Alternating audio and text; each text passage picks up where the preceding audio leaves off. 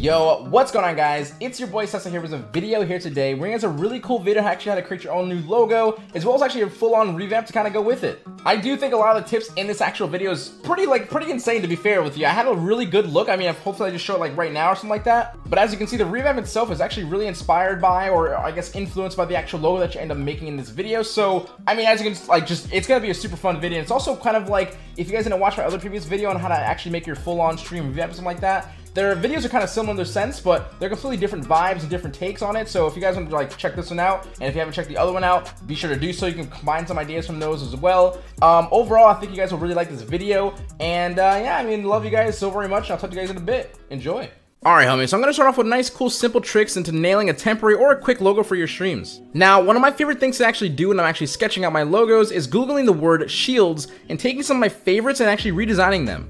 Keep in mind, if you're new and or just didn't really think about it, of course, a shield is 99% perfectly mirrored most of the time. So a little trick with this is really honestly just keep focusing on one side only because all you have to do afterwards is simply take another copy of it and flip it. And of course, do not be afraid to stretch and move around the actual shape itself because you never know if you got if you might like it being more elongated or more vertically tall or something like that. You actually do not know until you know is what I like to say. just do it and you, you, you never know. So you might find something you actually really like.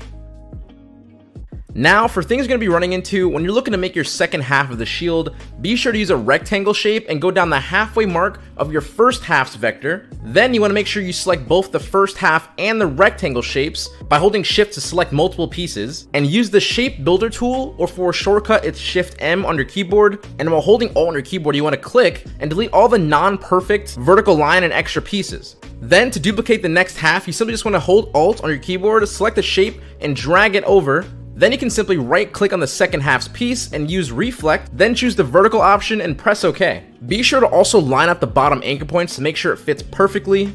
And whenever you would like to have these two separate halves be a full shape, just go to Windows, Pathfinder, and use the first shape mode option, and then you just see it's just gonna be connecting, you're good to go. And to finalize the first step of the logo is be sure to actually not be afraid to take your shields and shrink and enlarge them in different ways, vertically and horizontally, and you actually might find a new shape that you like way better.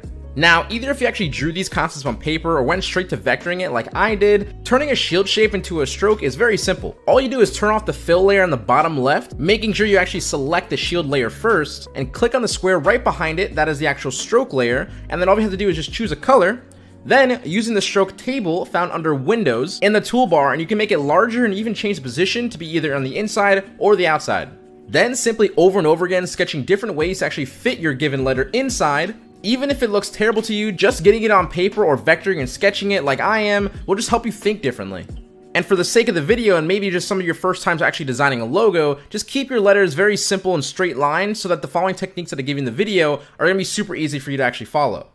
Alright guys, I think it's a pretty good time for me to actually jump in for you guys and actually show you guys how to actually get your nice little vector going on with your sketch that you've chosen. Now this of course is my sketch that I've chosen and I want to show you guys really quickly because you guys are going to run into this problem is of course when you're actually using Illustrator, usually a lot of people what they like to do is, uh, I'm going to use the direct selection tool by the way here. When it comes to using the direct selection tool, I just like to press A a lot when I select different objects. So to bring out the free transform, you actually have to, when you click on the object, hold control. So keep that in mind, right? So when I hold shift is while I'm holding control, you'll see that if I just rotate, it rotates on a perfect 45 degree angles each time. So obviously if I drag this over here, this is not a perfect 45 degree angle. So to actually get your perfect angle, what I like to do is I like to take my pen tool, right? Select the inside of this line here, just like so, I kind of follow the exact path. You'll see if I click and hover over the path, it does say the word path.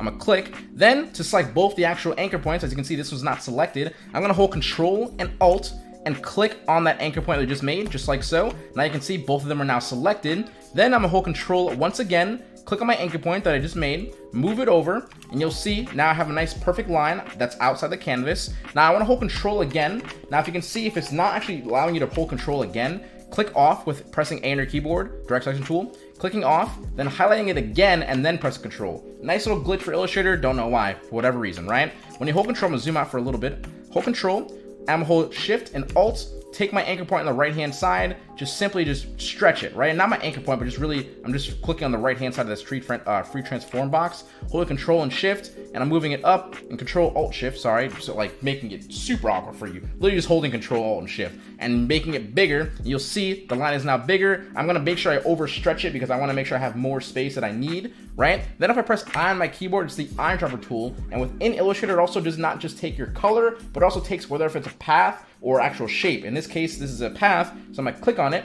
It'll make into a nice path for me, but the best thing about this is it's gonna make it the perfect width that we actually need, and actually make this now path into a shape. All you have to do is go to where it says Object, Expand, Fill and Stroke, make sure those are both selected, press OK, and now we are good to actually move into taking these shapes and putting them inside. And uh, yeah, that's just making the perfect line because you're gonna run into that problem. I'm saving you. Now, also before moving into actually putting the shapes, these lines, I guess, inside, we wanna make sure that, of course, there's an even amount of space between the actual, uh, our little A, our letter A and the actual shape. Um, so that case, what we're gonna do here is actually gonna take a duplicate of our little shape here, right here, right? This little shield shape. I'm gonna take this, then I'm gonna actually go to where uh, my color is. I'm actually gonna make a gray tone, a very simple gray that I, I, can at least see, and I can also just navigate through in between, right? So I'm also gonna go to my stroke options, and go to where it says alignment. Right now, my alignment on my actual shield is on the outside. If yours is on the inside, you can just keep it on the inside and just make your actual width bigger. But for me, I'm also gonna put my alignment just straightly on the inside. And since I've done that, I already have the perfect width of uh, the same exact width that's here. It's gonna be the same exact width in here. And it's gonna be, again, the same exact width as my actual shape. So everything's gonna be nice and perfect and nice and easy to go for. So I'm actually gonna make sure I lock that layer, that the gray layer, so it doesn't annoy me. But now what I can do is I can just take my lines, I can just measure them right on this line just like so. And now I can just go ahead and flip this by using right click, transform, uh, reflect, vertical, press OK. Then I'll take this side, make sure I line that up. Now that's lined up there. I'll do the same thing here.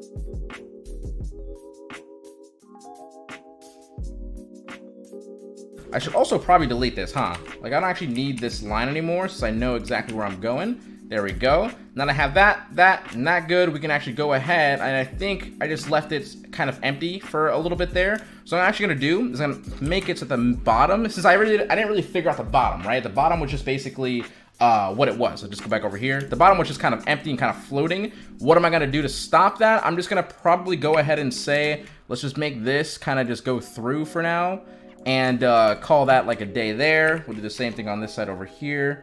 Just gonna click on this actual uh, anchor point right there and kind of go through that anchor point right there. And let's just say it stops there just for now.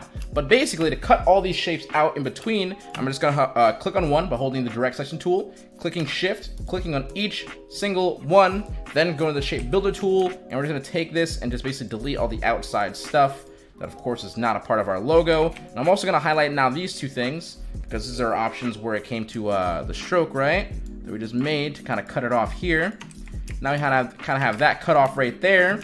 Now I don't actually have a perfect line yet. I'm just gonna make a nice perfect horizontal line. I'm gonna hold I, click on this, give me that perfect stroke option. Go to options here, expand, fill and stroke, press OK. And I'm gonna take this, put this right in the middle, Use my shape builder tool by selecting, of course, all these other shapes by holding shift again. Then shape builder tool, delete, delete. now I got myself, I just get rid of this, get rid of this. I don't know what I'm gonna do in the empty space here, but for now, I think for tutorial reasons, I can go into and kind of fix it, or I would say do something with the bottom, um, but maybe I'll just do it off camera, but for now, I'm gonna keep it like this, but this is basically this sketch right here, you know, made a lot better, obviously. And you can actually say, this actually looks pretty sick here.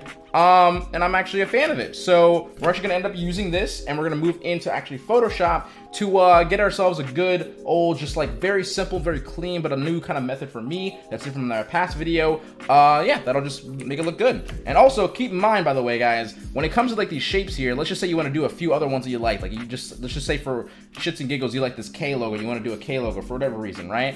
And uh, you go into it, you just, you know, you, you get to this part here, try, delete the shape itself, and you might have made a, a, really cool logo because of the shape of the shield of masks the fact that, of course, there is a kind of a shield shape going on with the letter that you chose. So maybe you can use this and be like, yo, this is my logo right here. Screw the shield. I just use a shield to kind of use it as a kind of a template. So keep that in mind. But basically, this is your nice little logo, and we're gonna move on to Photoshop and end the video over there. And uh, yeah, hope you guys enjoyed this kind of portion over here. Let's just move on.